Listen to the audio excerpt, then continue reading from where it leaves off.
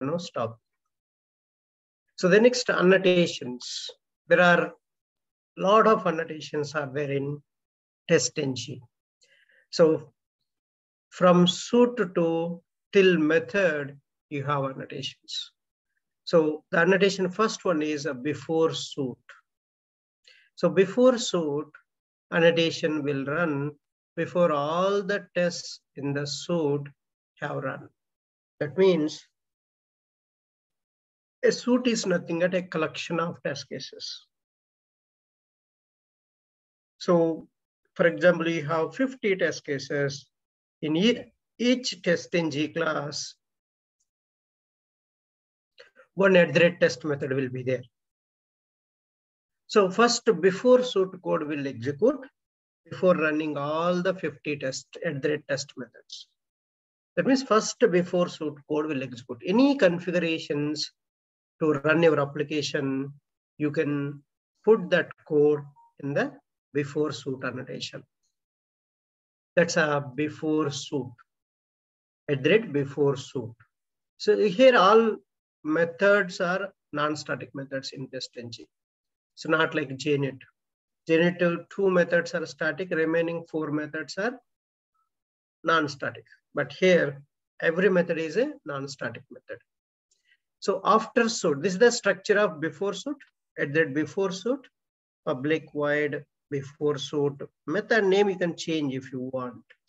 So parenthesis, curly bracket, write the configurations like, you know, setting up the environment, you know, deploying your application code in the build. So that all things you can do in the before suit.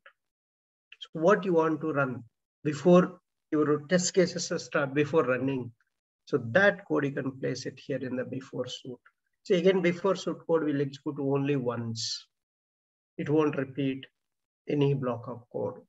So only once it will execute for entire suit. So next after suit. So this annotated method will run after all the tests in the suit have run. After completing all the test cases, 50 test cases, finally after suit block of code will execute. So first annotation and public void method name. So here you can write the cleanup activity, basically cleanup activity. Okay, all your test cases are done, maybe collecting the logs, uh, clearing the environments, destroying the environments, or closing the browsers. Such kind of know, final post uh, test cases, what you want to do. That kind of activities we can put here in the after suit. That's a before suit and after suit. Next, before test. So before test and after test is there. It's a pair of you know annotations all. So one before is setting up the things. After is tear down activities. Tear down activity means cleanup. So that's the before and after. So but before test, after test. If you want to understand this, you need to understand the suit file. So let me show you the suit file uh, format so that you will get a better idea. So what is that? A suit file. A suit file is an XML file in TestNG. TestNG.xml file we call that. So there is a good website for the TestNG. TestNG documentation you said, you will get that. So the best Cedric prepared a very nice documentation in test TestNG. So he's the father of this, right? Uh, you can just go test TestNG. So you have a direct uh, website will be there. So you don't need to go anywhere. Uh, I need to go to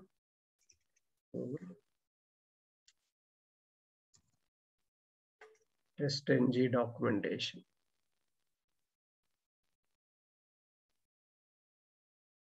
See, you will get a direct test TestNG documentation. So this is the one. You can see testng.org documentation. Just click on this. So you will get all the, so testng.xml I was talking. This is the first suit tag will be there.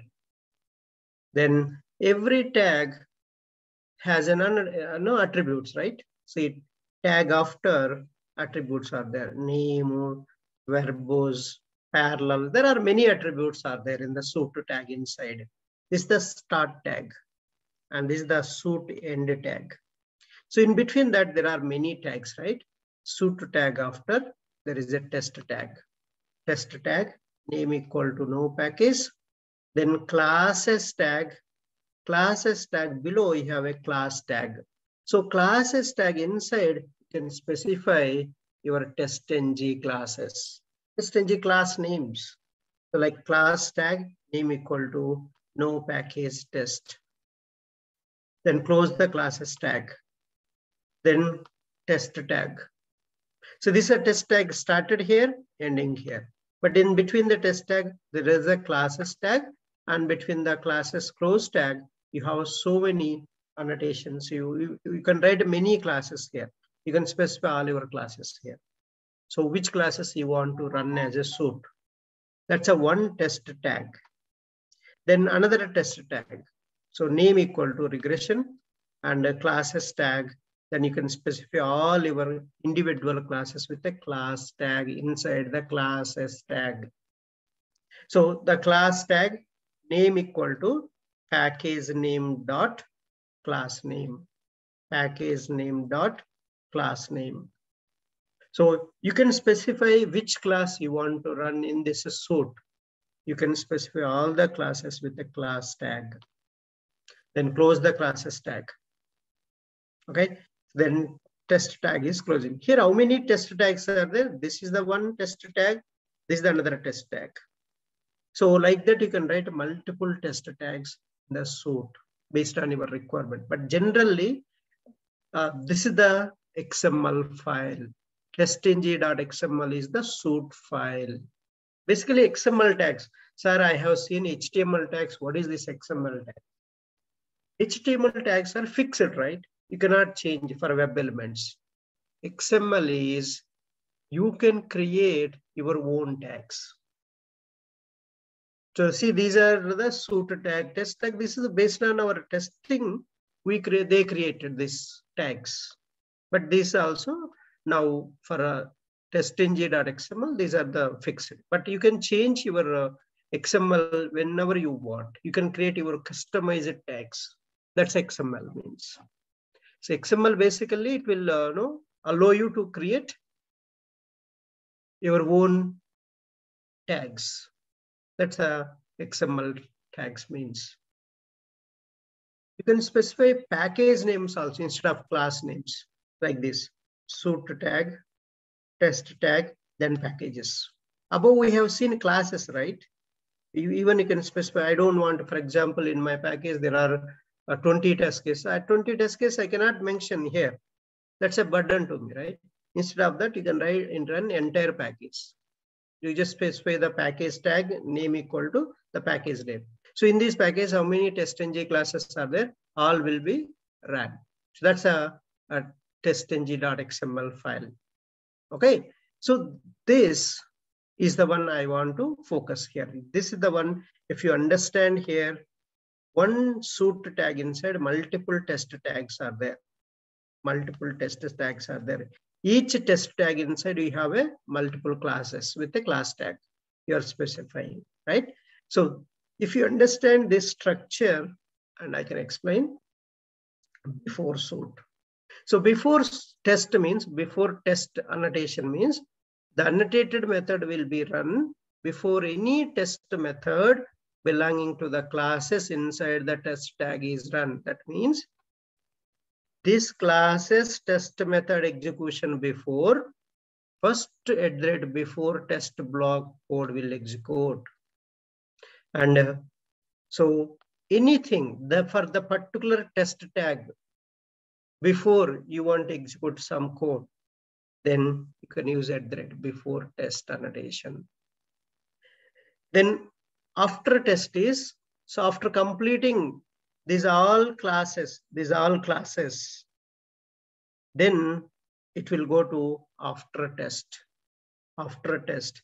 So the annotated method will be run after all the test methods belong to the classes inside the test tag have run. That means, so all these classes test methods are over, then controller will go to at the rate after test annotation block. So this is the after test annotation block. At the rate after test, public void after test method name, and you write whatever you want to write a cleanup activity. So this is the before test and after test. Again, you have one more test tag. Again, controller will go to before test. So before test, it will go here. If one more test tag is there, this is the tag level annotation. It will repeat for every test tag. That's a before test means. So what is the before test? Before test will execute before any test method execution inside the test tag. And after test is after completing all the test methods inside the test tag have completed, then after test annotation block will execute. If one more test tag is there, again controller will go to before test first, then it will come to this class and then this class. All are finished these classes. Then it will go before, eh, after ending this test tag, it will go to after test annotation. So that means every test tag, the before test is repeating and after test is repeating. So is it clear on before test and after test? Any questions? Okay.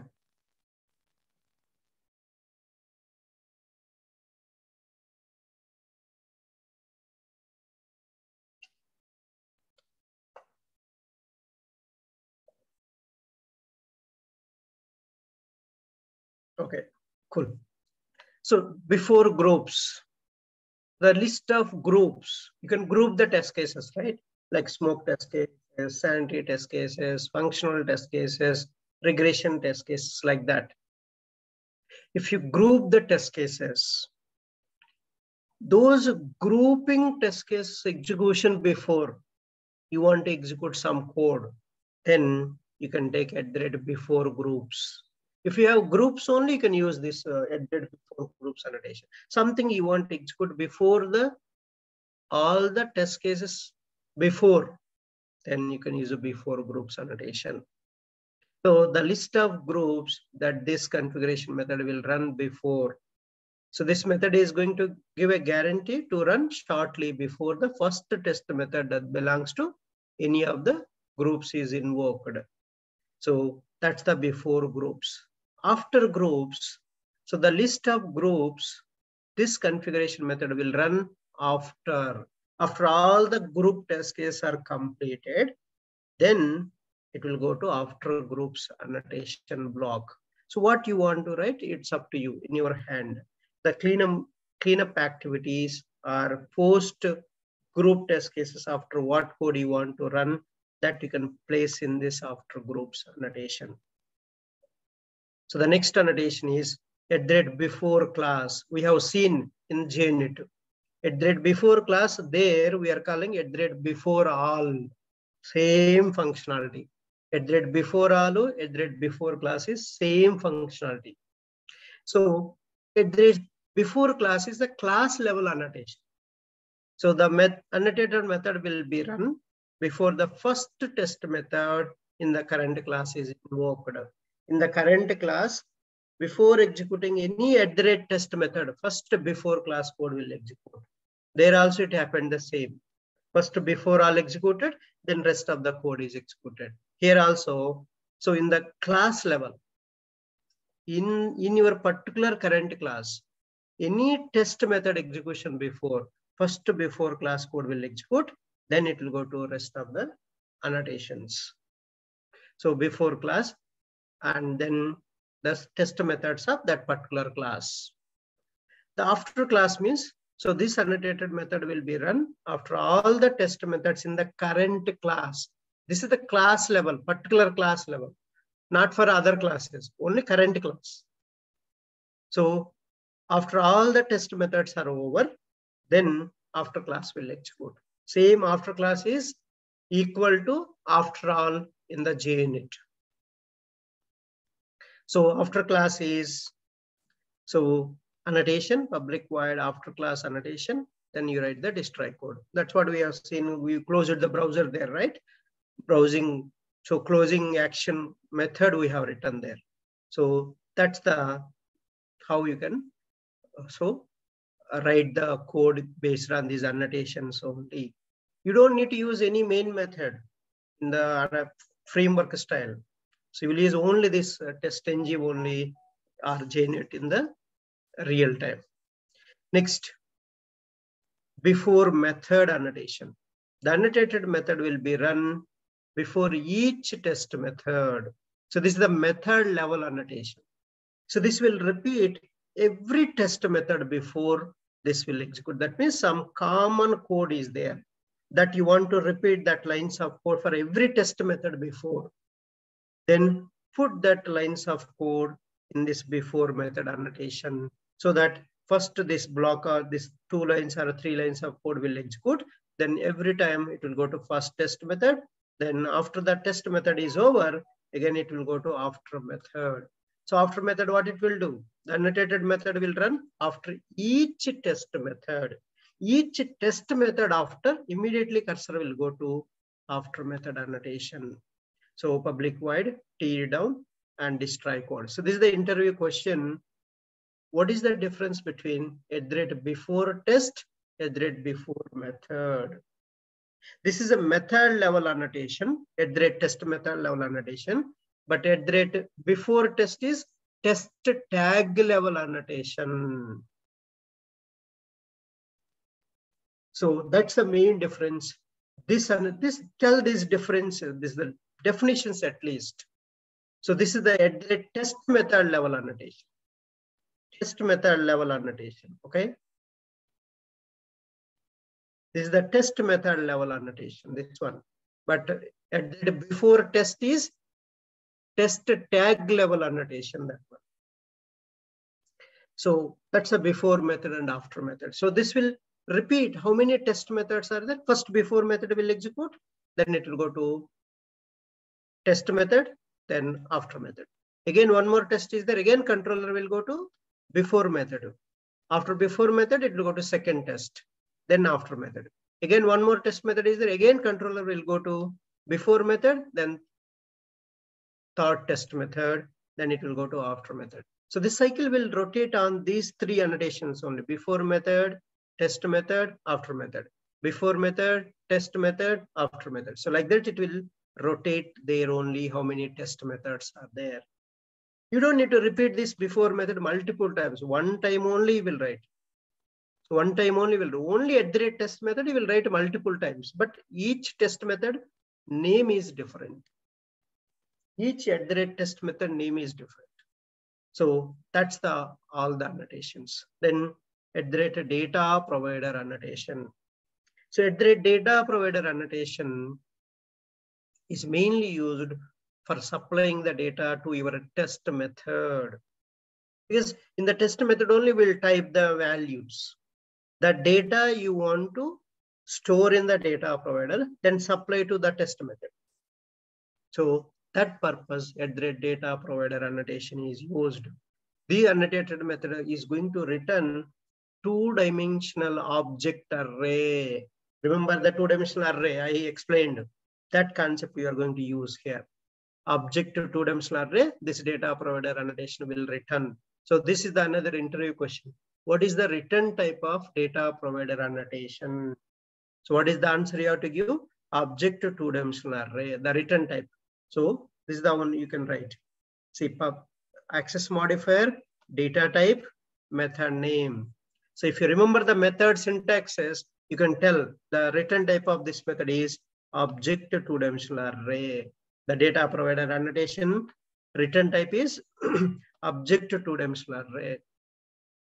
So where each object can be assigned the parameter list of the test method. So how many parameters are there in your test method? that parameter count you have to specify as a columns count. And the number of rows you want to repeat means, so how many sets of data you want to give to your test method. That is your rows count. So that I already, the two-dimensional array object, how to create, I mentioned very, very clearly in Java. So that I'm going to use here, object to two-dimensional array. So data equal to new object class. This object is a class, the super class of all the Java classes. So that object class we are using here. So this method also returns object class two-dimensional array. So rows and columns. Rows tells you number of times test has to be executed. How many times your test method wants to execute. That will tell this rows count. So columns will tell you number of parameters in your test method. In test method, how many parameters are there? That count is your columns count. So here is the example I'm giving, simple example. And object to two-dimensional array, data. So new object, three rows and two columns. That means your test method has two parameters and you are providing three sets of data for the test method. That's the meaning of this uh, three by two two-dimensional object array means. So first row, you're storing the data. The data provider annotation, see that at the data provider, you can give name for this data provider, any name you can provide for this data provider. And you just create after annotation immediately method syntaxes non-static method syntaxes you have to write. But this method returns a object to two-dimensional array. I'm storing all the data, first row, second row, third row. See, the columns are column one, column two. So then return, this return type, right? Return the array, two-dimensional array. Then how you, you can map to test method. So there are many test methods are there in the test testng class. But which test method you are giving this data? How do you, how can you map that? So that you need to catch very clearly at the test data provider keyword you have to write and give the data provider name. You're giving the name here, right? So this name you give or you are not giving a name, you can give this method name. First priority is if you give a name, you give a name. Or you're not giving a name, give the data provider method name here, the at the test method annotation. At the test data provider, we are specifying your data provider. Which data provider? You can write multiple data providers also. You can write multiple test methods. Which data provider you are supplying to which test method? You have to clearly mention here so that this test method, see, this test method has two parameters. One, two parameters. That's what the, here number of parameters count is your column count. So here in the test method, your number of parameters count is your column count. You don't need to look how many columns I need to give. So just see how many columns are here. This columns count is this, the parameter count is your columns count. Sir, how to declare my rows count? Rows count, how many sets of data you want to give? How many times you want to repeat this scenario? With this, uh, different sets of data you want to give, that different sets of data is your column, rows count. So this is how we are mapping. How we are mapping? The test method and data provider. So at the rate test bracket data provider equal to data provider name or data provider method name you have to specify. Then this test method will go and pick the username and password automatically it will iterate. First, this username value will come here. This password value will come here and it will replace here the values. Then it will go to second. Username 2 will come here password 2 will come here, that values will be replaced here. Again, because you're using parameters here inside the method, so the values will replace while running the test cases. Then username 3 value will come here and it will replace username 3 and password 3 will replace here. So in your test method, wherever you are using this parameter, that parameter values will be tested three times. This test method will repeat because three sets of data you have given. This is the one set, this is the second set, this is the third set. Three times this login test will execute. So that's a data provider annotation, how you are going to use. This is the mandatory interview question they will ask. Write a data provider annotation with an example. Okay, so make sure you so write this entire code as it is you store the data and you supply. This is the main, they will focus how you are using this data provider. So see data provider keyword. So the variable concept basically, variable names, how you will write. it start with alphabet lowercase, right? And uh, each word, uh, second word onwards, capital letter. So that's the naming conventions you follow. And uh, all the data provider annotations are capital letter. This is the classes. So at the rate, D capital, P capital, annotation names, all like that only. So next, at the rate parameters annotation. So at the rate parameters annotation is used to supply parameter values to your test method. So you can supply from XML file. You can store data in the XML file. From there, you can read to your test method. So single data also you can give the at the rate parameters annotation. So that's the at the rate parameters annotation means. Now, to do this, you need to declare a parameter tag in XML file. XML file, you have to write a parameter tag. So like you have a suit tag, test tag, classes tag, class tag. So same above classes tag, which class you want to supply these parameters you write above the classes tag above, you write a parameter tag. Parameter tag inside, you have to write a name attribute and value attribute. So name is the name of the parameter you have to give. So what is the value for that parameter? You can specify with a value attribute. I don't know how many of you remember the basics of attribute, attribute syntaxes. Then you can easily understand what are the attributes means. So that this is the tag you will use in the XML file. XML file means suit file. Remember that in testng, if they are mentioning suit file means testng.xml file. So where the name attribute of the tag defines the name of the parameter and value attribute defines the value of the parameter, what value you want to give for that parameter. So parameter names are declared inside the class and above the method, test method. See this, is how we are going to write public class parameters demo at the rate parameters. So parenthesis inside you have to specify your parameters, parameter one, parameter two. Then at the rate test, so public void test, same parameter name. This parameter data type is a string table. So that's why first data type is string and parameter one. This is how we will write the parameters, right? In the method, first data type, then parameter name, comma, this parameter data type also string. So you're putting in double quotes. That's why string parameter two. So like this, how many parameters you are declaring here? That many parameters should be here in the test method also. Then this parameter you are using here. Here. But this value I'm going to give from XML file, testng.xml file. Let me show you that testng.xml file. So how to create a testng.xml file for particular class?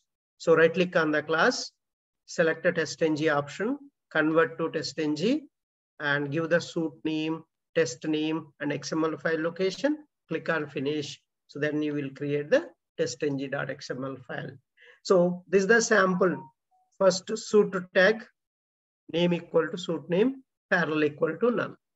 Test tag, name attribute, name value.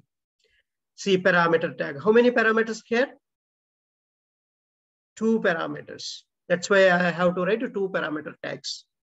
So first parameter tag, name equal to parameter. So name equal to parameter one, value equal to value of the parameter one. So second parameter, another parameter tag I am writing parameter. Each parameter, one parameter tag you have to write. Then you have to include name attribute and value attribute. So name equal to parameter two, value equal to value of the parameter two. Suppose you assume that username password you want to supply from XML file. So here name is username and value is rameshan3 at gmail.com. So parameter name. So name is password. The value is test123 password. Whatever the password, password. In the value attribute, you have to give the value of this parameter. So this is the how you can supply parameter values from XML file using at the rate parameters annotation. Okay. Then at the last, at the rate test annotation. At the rate test annotation, you can mark your class or your test method as it is a test case. How you can mark your test as a test case? By just putting at the rate test annotation on top of that method on top of that class. If you write at the rate test, then this method will be treated as a test case. This method will be represented as is a test case. So this is all the different uh, uh, test, but what are the different keywords or parameters you will use? So that I'll explain in the next class. Let me stop all the